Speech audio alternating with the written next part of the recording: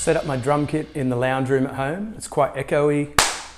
We live under a flight path, so every now and then an aeroplane will fly overhead. We've got a big dog who barks. Everything about this room is on paper.